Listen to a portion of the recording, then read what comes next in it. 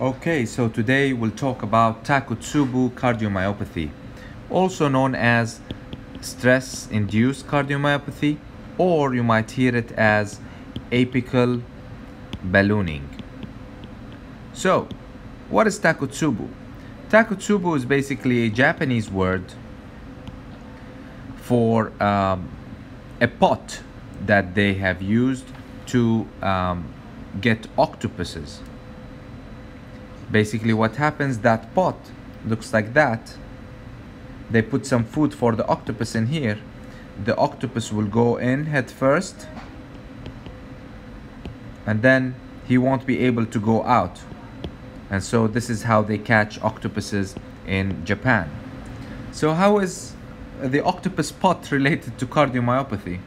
Basically what they found out is that if you do a left heart cath for those patients and they and you inject a dye into their left ventricle you will see an image that looks like that where the apex looks kind of dilated but this area over here and this area over here is contracting. This is why they call it apical ballooning because the apex is not really contracting and it looks like a balloon while this basal area is contracting very well. Now, how do Takotsubo present? Those patients come into the hospital either chest pain, shortness of breath, and then you might do an EKG and you can find that those patients have ST elevations.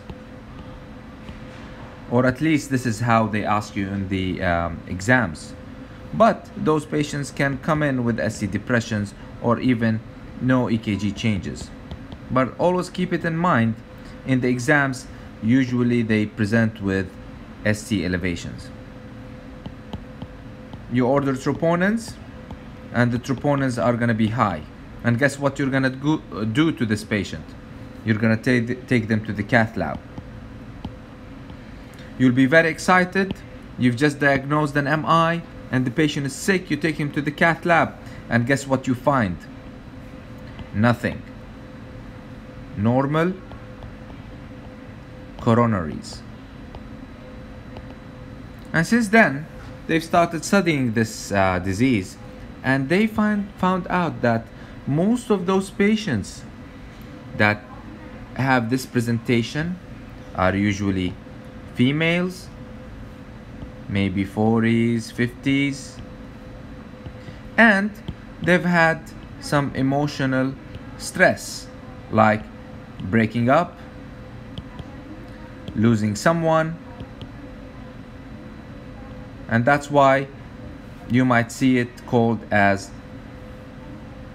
broken heart syndrome.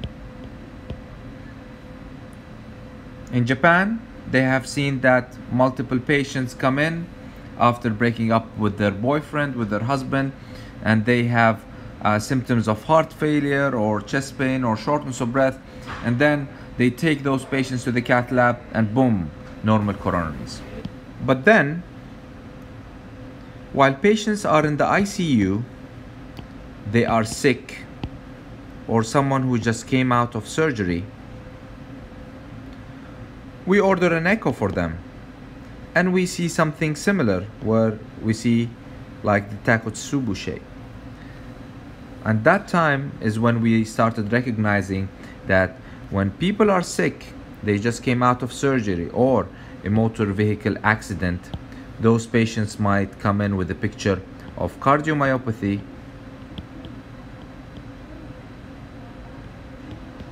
where their ejection fraction will be low